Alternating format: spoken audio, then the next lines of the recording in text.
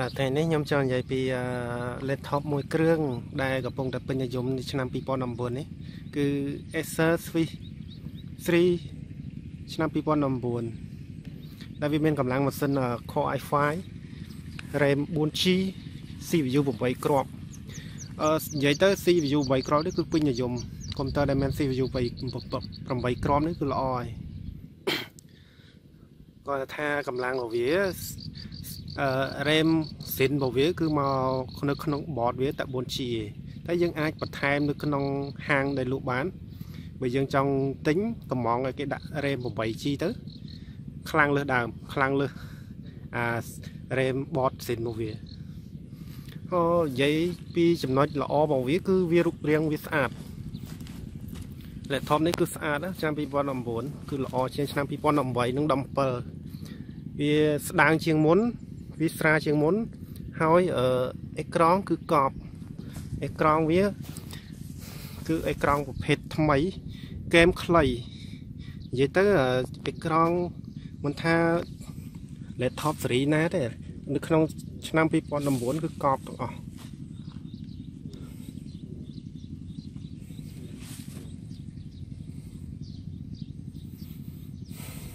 រាងវាស្អាតនៅឆ្នាំ2019នេះ laptop ថ្មីហ្នឹងអឺអេក្រង់វាគឺ Full HD អឺ scan កាយ៉ៅដៃដូចទូរស័ព្ទអញ្ចឹងហើយ key របស់វាគឺល្អអាចកាត់ទៅ meg ហើយ tab tab នេះក៏ធំជាងមុនដោយសារតែខ្ញុំមកវាស្រែហ្នឹងវាអត់មាន Wi-Fi ទេចង់បដូរបរិយាកាសដង និយាយទៅអ្នកដែលរកស៊ីតាម YouTube អីថ្មីថ្មីថ្មោងអីអាចប្រើអាហ្នឹងទៅល្អវាធូរថ្លៃតែខ្ញុំទិញនេះវាតែតម្លៃវា Core i5 RAM 4G CPU 8គ្រាប់គិតជាតម្លៃថ្មីហ្មងបកកេសគឺ589ដុល្លារហ្នឹងហើយបើនិយាយទៅបើប្រៀបធៀបនឹង laptop មកទឹកផ្សេងទៀតគឺមិនខុសគ្នាឆ្ងាយខុសត្រូវគ្នា100ជាង ខ្ញុំឃើញភ័យខ្លះដាក់លក់ laptop សេរីទៀតជាងហ្នឹងផងដល់តែ300ជាង តែបើយើងខុសត្រូវគ្នាតិចប៉ុណ្ណឹងគួរតែទិញថ្មីទៅណាមួយវាបានចំនួនទី8 laptop នេះខ្ញុំអត់តបានបញ្ជាក់គឺវា CPU Core i5 ចំនួនទី8 VGA ដាច់បើយើងទិញ Core i ចាប់ពី Core i5 ឡើងទៅអា Swiss 3នេះគឺបានចំនួនទី8 ចំនួនទី8 CPU 8គ្រាប់តែបើយើងទិញ Core i3 បានថា CPU 4គ្រាប់ទេមិនទៅស្អាតខ្ញុំស្រឡាញ់បើនិយាយពីកម្លាំងវាមិនខ្លាំងកប់ទេយើងមកអាចប្រើកាត់តវីដេអូអីបានកម្រិតបង្គួរតែបើឲ្យយើងយកទៅកាត់តកម្រិត graphic ធំធំវាលោទៅមិនរួចទេតាមកម្លាំងម៉ាស៊ីនប៉ុណ្ណឹង Core i5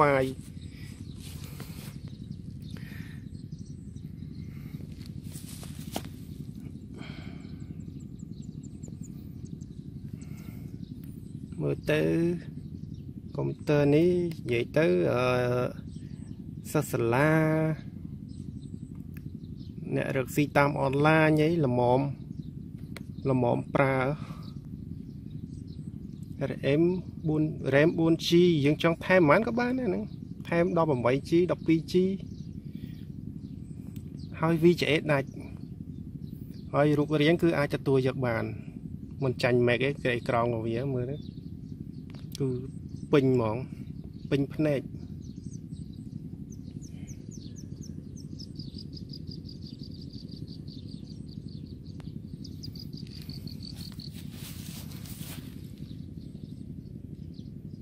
្ដើងនិយាយទៅសេរីឆ្នាំ2019ស្ដើងជាងសេរីឆ្នាំ2017 18ហើយវាឈូកហ្គេមឈូកហ្គេមស្អាតមែនតើនេះ នេះជុកហ្គេមឡើងចាំងនិយាយទៅបទពិសោធន៍ខ្ញុំដែលប្រើមួយរយៈពេលមួយអាទិត្យនេះគឺល្អអាចទទួលយកបានអ្នកដែលមានថវិកាស្ដួយស្ដាងមិនហ៊ានយកកុំព្យូទ័រថ្លៃដូចជាកុំព្យូទ័រដែលពេញកម្លាំងរបស់វាគឺជាង1000នោះតែយើងគ្រាន់តែចំពោះអ្នកដែលប្រើវីដេអូតូចតូចល្មមៗកាត់ត Photoshop អី យកអាហ្នឹងទៅល្អហើយ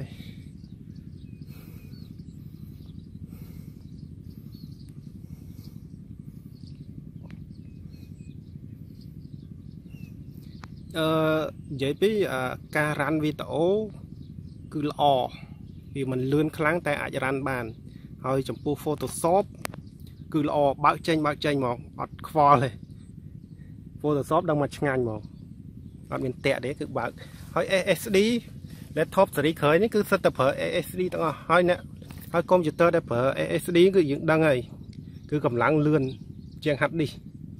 ហើយកុំព្យូទ័រនេះខ្ញុំទិញបានតែត្រឹម hard disk SSD តែ256ឯងតែបើយើងចង់ឡើងយើងអាប់ដេតយើងឡើងទៀតទៅបានប៉ុន្មានក៏បានដែរ SSD ហ្នឹង SSD ហ្នឹងវាលឿនហើយខ្ញុំបើក Photoshop ឲ្យមើល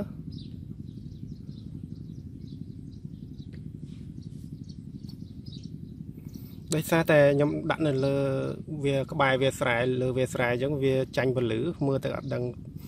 ភ្លឺទេទៅជាហាងស្អាតវាចាញ់ពលឺបន្តិច